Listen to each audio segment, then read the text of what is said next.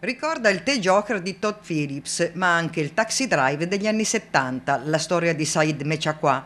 Ma qui non c'entra l'ordinaria follia hollywoodiana, ispiratrice di pellicole da notte degli Oscar, perché Stefano Leo non era un personaggio da film, ma un giovane uomo di 33 anni che la mattina del 23 febbraio scorso è stato sgozzato alla gola mentre si stava recando al lavoro.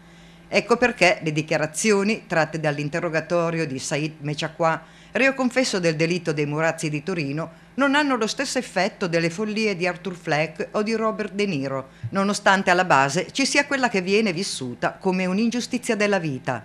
Io ho voluto ammazzare per il semplice fatto che per me la cosa più sacra nella vita sono i figli.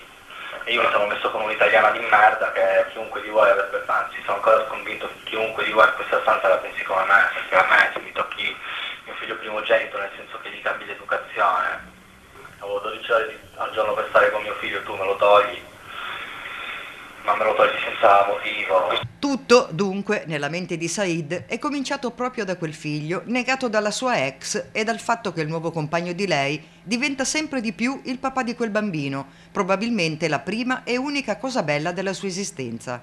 Dapprima, preso dalla disperazione, pensa a togliersi la vita, ma poi cambia idea. La mattina di quel drammatico 23 febbraio esce dal dormitorio di Piazza d'Armi e acquista una confezione di coltelli colorata con il solo intento di uccidere. No, io cercavo un coltello qualsiasi. Che, perché ti serviva questo coltello? Dico? Sta parlando dell'omicidio. È come se tu devi andare a caccia e riesci il tuo fucile, non hai il cibo più comodo per la tua azione. Ma chi era la preda di Said? Uno qualsiasi. No, uno qualsiasi no, c'era l'idea anche su quello se vuole sapere.